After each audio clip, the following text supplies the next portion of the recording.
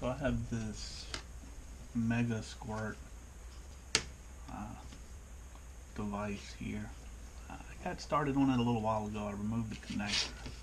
Uh, the customer brought it in because he could see the the damage traces here and this one here. He saw those. Um, so I went ahead and removed the connector, getting ready to work on those, and I ended up testing these uh, MOSFETs here, and it turns out they they were all bad. Well, I would say at least three out of five were bad. So I, I removed them all, and uh, finally had the replacements come in today. Uh, so I'm gonna go ahead and finish this guy up. Just first, I'll start by uh, fixing these traces right here. This one's pretty straightforward there. This one's pretty simple too. We just need to put in some new copper here and here. Uh, you can use copper tape. I think I'm just going to use a wire rather than try to cut out that shape. I like just to use a solid solid wire if I can find when I'm done with them.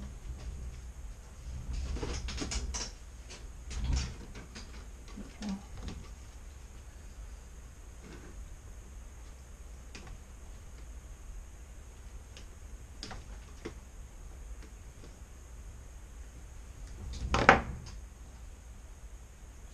That one's pretty pretty straightforward. Bends off there.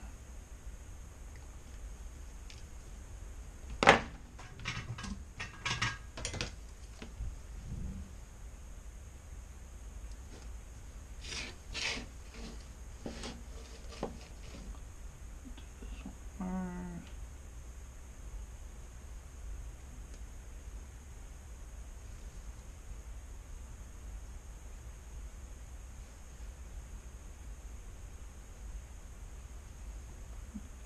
Sit there. There you go, big guy. All right. Get some flux.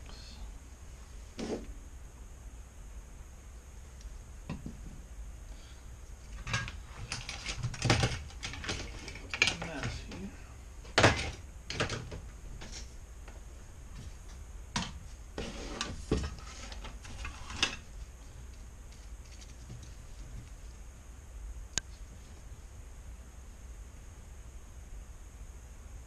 Can't really see too good tonight. Don't know why. My arm feels a little funky.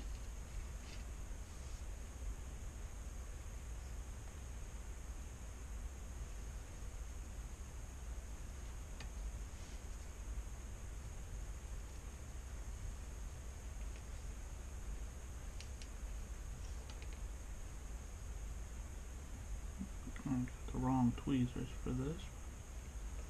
That is okay. We will figure it out.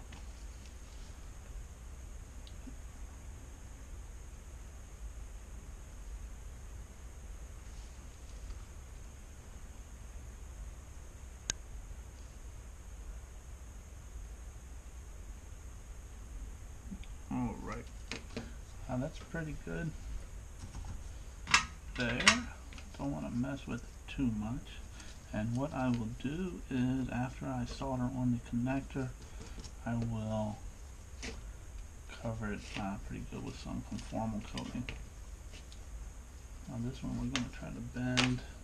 Try some better tweezers here.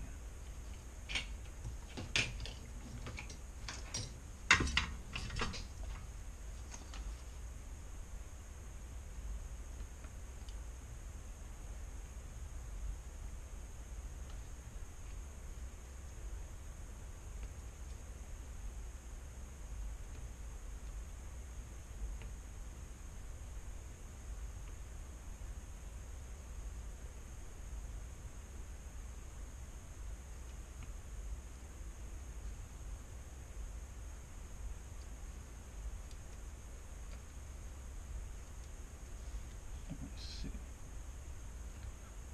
So I know that connector has a piece that comes like this. So I think that I think that will actually do it. I think that here.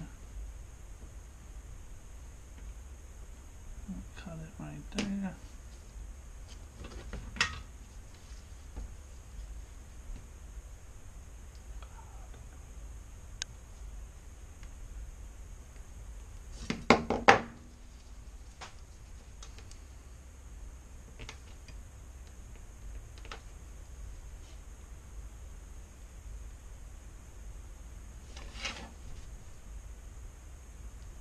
This is the uh, this is just the ground. You could you could also jumper, you know, if you could just jumper these as well if you wanted.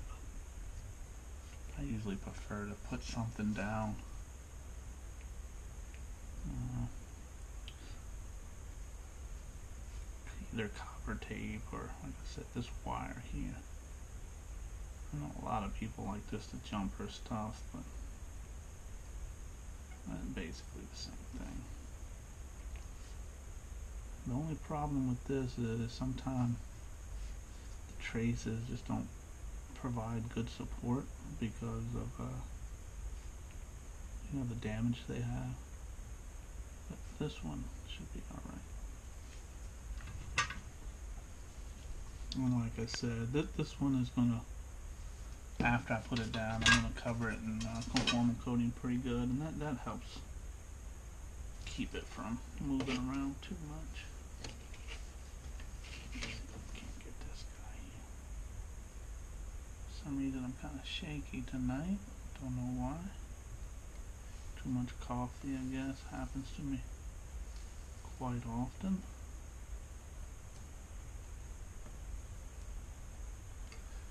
Now, I noticed one thing with these strands. You, you do have to, you do have to cover them with conformal coating or something. Otherwise, uh, they, they will, I mean, if they get a little moisture on them, they, they will rot out way, way faster than, uh, you know, like a normal jumper would. So you, definitely gotta make sure you cover it up and get it connected good here.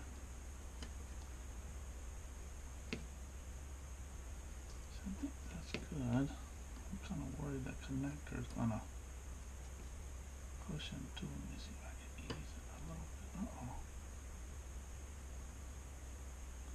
I just don't know when to leave well enough alone. Alright. So this this is the connector. I just want to check it. Let's see. Which way did it go? I'm pretty sure it went this way.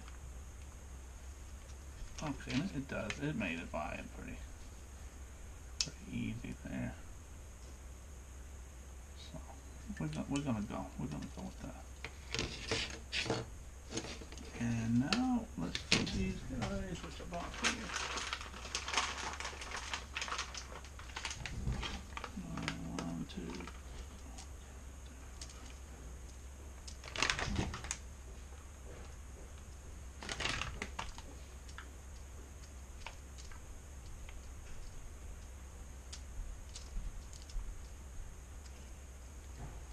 you. Done already, Ben? Uh.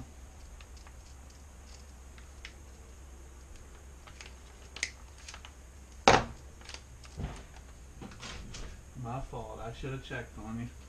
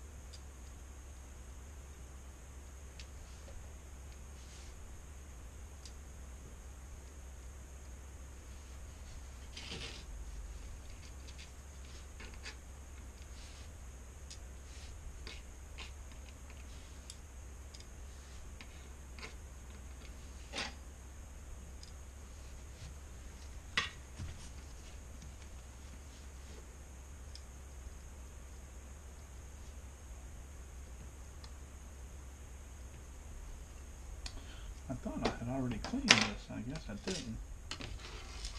Kind of lumpy.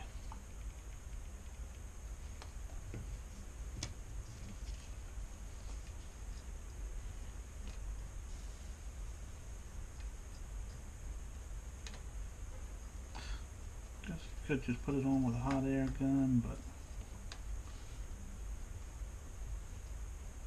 I think we'll do it like that. I don't want to mess up the trace if I just put that.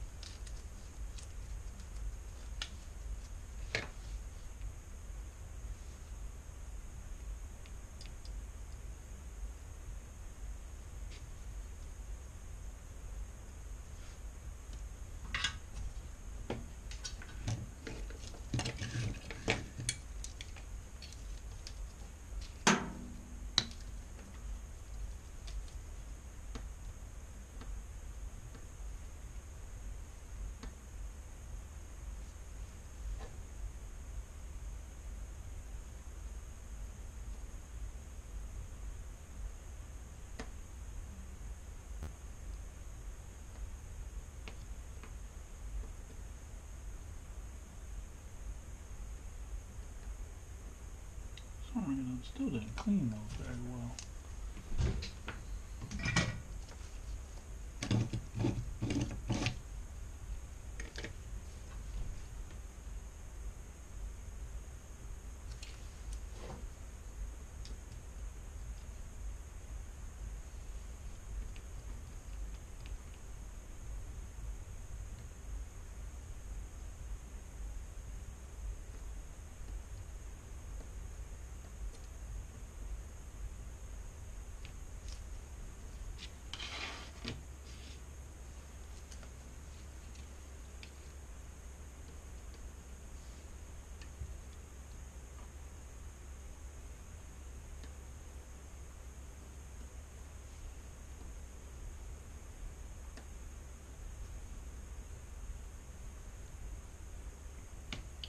Probably come back and I'll probably hit all these one more time.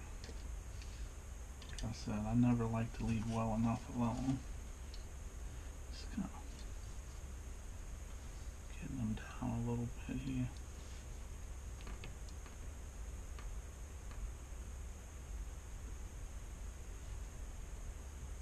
A lot of times with these, like I said, I'll just use hot air. I probably should have done these first before I done those traces and I could have just hot aired them all back on and been done with it.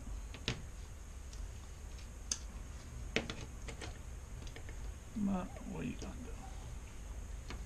Up too late now.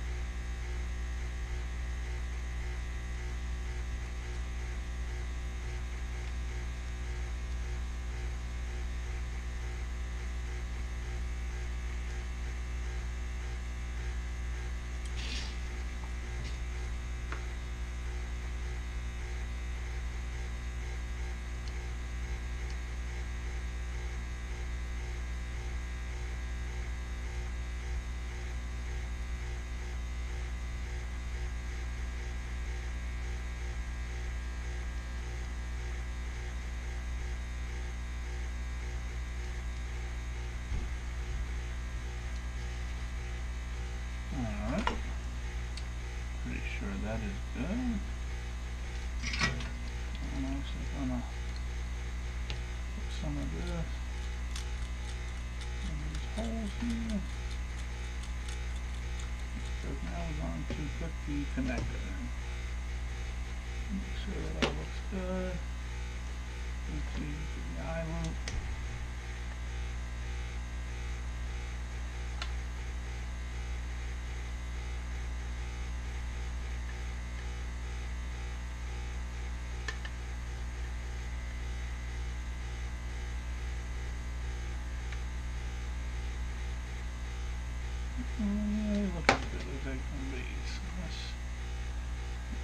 Didn't miss nothing. Just double check it. I think it all looks good.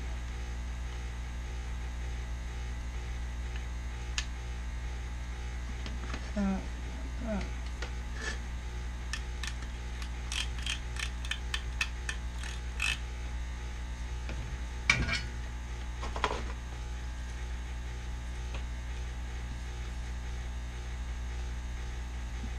Some salt in it. Next one.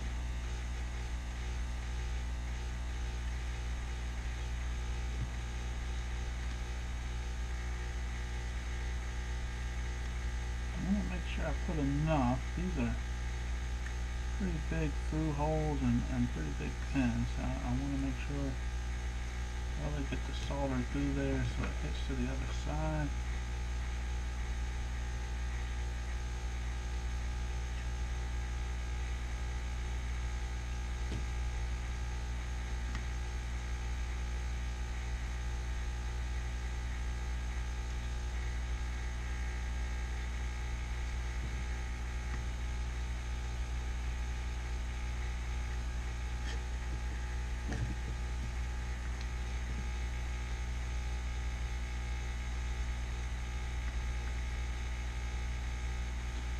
Should be using the smaller iron for this, but reason I like the big one.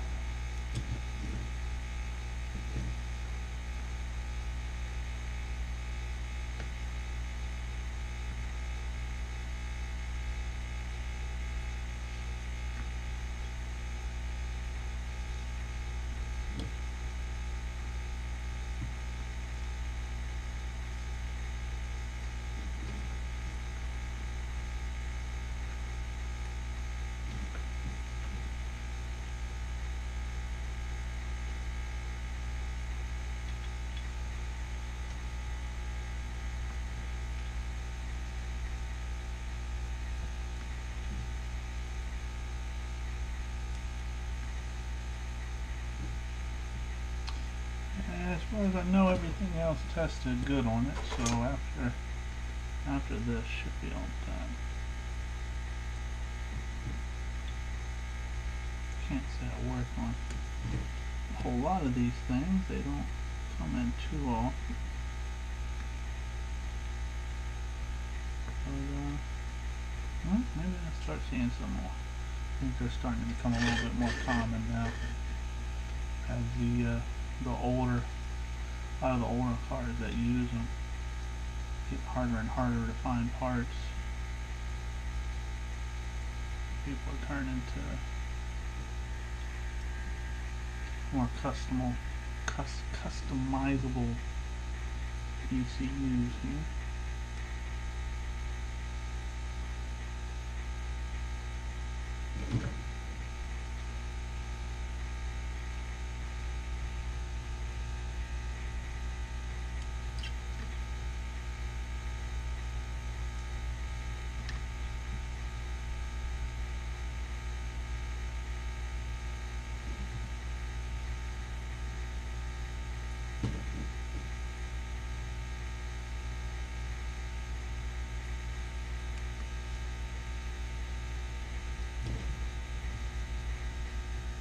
That guy I missed right there.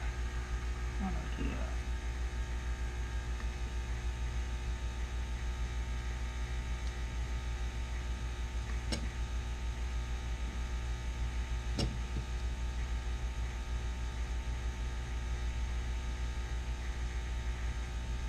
Mm, Just want to double check everything. So on, look kind of low. Let it just go.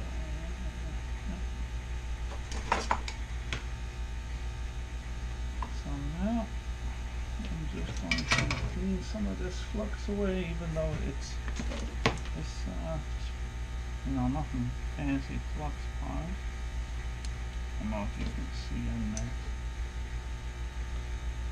Uh, you can see in there pretty good by eye. See everything soldered through pretty pretty decent. Uh, maybe got a little crazy with it, but you know, better safe than sorry. Yeah, see everything. Everything looked really good. Okay. So, I'll clean away some of this.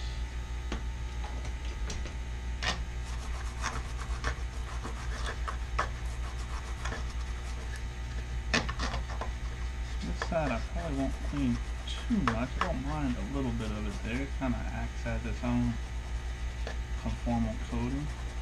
This is non-corrosive flux, so. This side, I want to actually put real coating down because of these. Let's see here.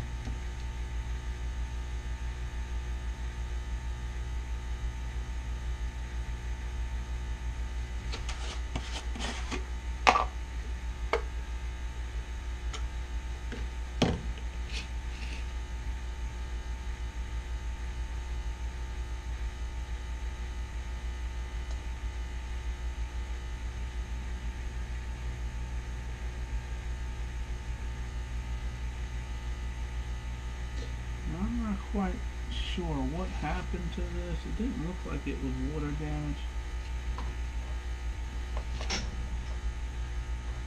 So I'm not going to go crazy putting this stuff. I'm just going to put it right around where I was working. Okay, that's leave that to dry.